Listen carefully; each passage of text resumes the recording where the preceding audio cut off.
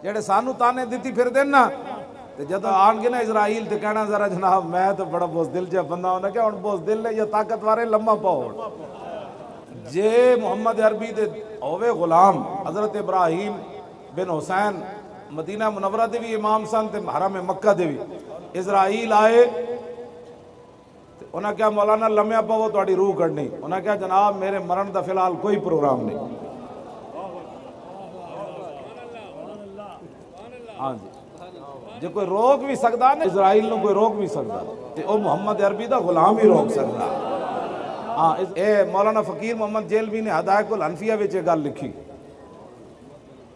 हाँ इब्राहिम बिन हुसैन हाँ जी सैयद भी सन आ- हाँ सैयद इब्राहिम बिन हुसैन उन्हें कहा मौलाना लम्या पर वो रूह करनी उन्हें क्या जनाब मैं ਤੁਹਾਨੂੰ ਪਹਿਲੇ ਜੇ ਕਹਿ ਦਿੱਤਾ ਮੇਰੇ ਮਰਨ ਦਾ ਕੋਈ ਨਹੀਂ ਪ੍ਰੋਗਰਾਮ ਉਹ ਫਿਰ ਉਹਨਾਂ ਕਿਹਾ ਤੀਸਰੀ ਵਾਰੀ ਉਹ ਚਲੇ ਗਏ ਉਹਨਾਂ ਉਹਨਾਂ ਦੀ ਰੂਹ ਨਾ ਕੱਢੀ ਫਿਰ ਸਿੱਧਾ ਬਾਰਗਾਹ ਰਿਸਾਲਤ ਵਿੱਚ ਪਹੁੰਚੇ ਜਨਾਬ ਇਜ਼ਰਾਈਲ ਅਲੈਹਿਸਲਾਮ ਨੇ ਅਰਜ਼ ਕੀਤੀ ਯਾ ਰਸੂਲਾ ਉਹ ਤੁਹਾਡੇ ਮੌਲਾਨਾ ਜਿਹੜੇ ਹਨ ਨਾ ਸੈਯਦ ਇਬਰਾਹੀਮ ਬਿਨ ਹੁਸੈਨ ਮੈਂ ਉਹਨਾਂ ਨੂੰ ਕਿਹਾ ਮਰੋ ਤੇ ਉਹ ਕਹਿੰਦੇ ਮੈਂ ਨਹੀਂ ਮਰਨਾ ਤੇ ਹਜ਼ੂਰ ਉਹਨਾਂ ਨੂੰ ਸਮਝਾਓ ਭਾਈ ਕੁੱਲੋ ਨਫਸਿਨ ਜ਼ਾਇਕਤੁਲ ਮੌਤ ਅਸੀਂ ਤਾਂ ਹਜ਼ੂਰ ਉਹਨਾਂ ਨੂੰ ਸਮਝਾਓ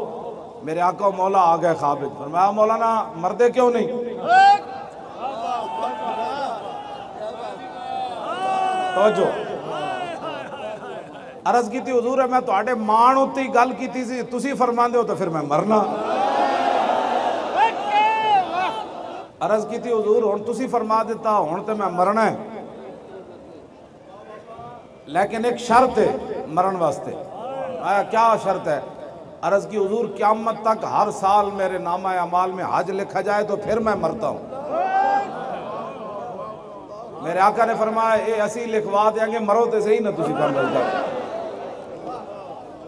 कि मोहम्मद से वफा तू ने तो हम तेरे।